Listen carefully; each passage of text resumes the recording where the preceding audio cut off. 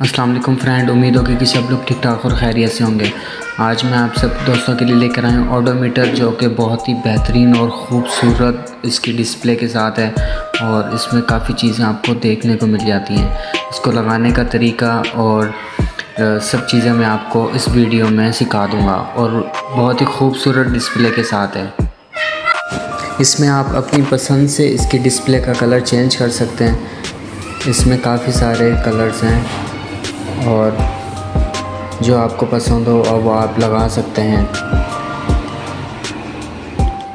इसका छोटा सा बटन दिया हुआ है एक साइड पे तो उसके ज़रिए आप इसको चेंज कर सकते हैं। और सबसे मज़े वाली बात कि इसके अंदर इंडिकेटर है हेड का ऑप्शन है न्यूट्रल का ऑप्शन है पेट्रोल का है फ्यूल का, और इंजन चेक का है बहुत ही खूबसूरत में खूबसूरत डिस्प्ले के साथ है। और इसकी वायरिंग के बारे में बात करें तो इसमें गलती की कोई भी गुंजाइश नहीं है। अगर आपने एक भी वायर उल्टी सीधी लगा दी तो ये मीटर ख़राब हो जाएगा।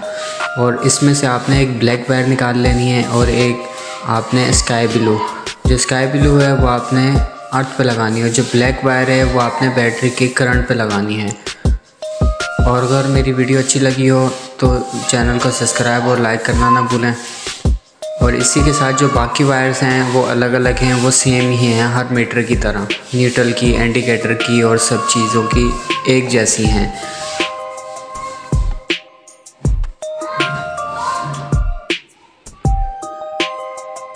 इसको आपने लगाने के बाद आपके सामने कुछ इस तरीके से डिस्प्ले आ जाएगी। इन मिलते हैं नई वीडियो में।